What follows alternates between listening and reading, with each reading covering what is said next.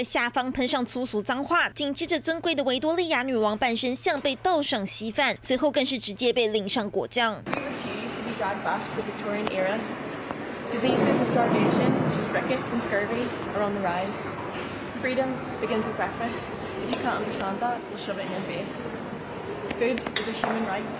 抗议者对着镜头说出宣言，另一位同伙则继续欺负维多利亚女王像，让路过民众纷纷侧目。苏格兰格拉斯哥的凯文格罗夫艺术博物馆最新沦为博物馆抗议的目标。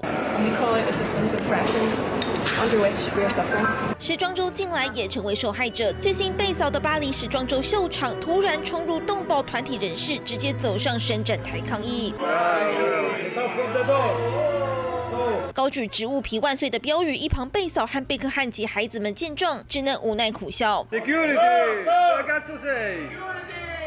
类似事件近年层出不穷。今年二月，莫内名画遭抗议人士泼糖汁；一月，还有巴黎罗浮宫镇馆之宝《蒙娜丽莎》被泼糖汁。去年年底，伦敦国家美术馆收藏的近前的维纳斯名画，前方玻璃窗被敲出几个大洞。还有二零二二年十月，相同地点的梵谷知名系列画作《向日葵》也受到番茄糖洗礼。I let the viewer decide who were the terrorists. Uh, let's put it this way: I'm still out of jail. 仔细听这些号称环保、气候、食物、人权斗士的抗议言论，往往缺乏明确目标和诉求，只剩下激烈手段，似乎是打着环保、人权旗帜，对各类艺术品胡作非为，早已引起许多民众反感。前新闻有华娟报道。